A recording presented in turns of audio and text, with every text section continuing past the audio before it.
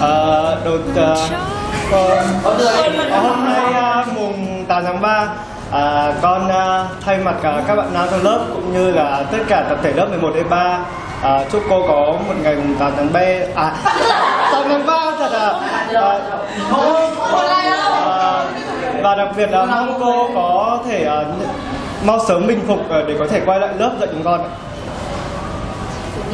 con chào cô à, cô hôm nay mùng 8 tháng 3 à, các bạn nam trong lớp đã làm rất tốt.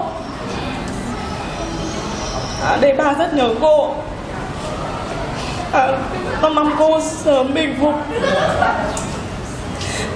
Để à, đến lớp lại dạy chúng con vui vẻ với chúng con như hàng ngày. Cô cố lên cô nhé.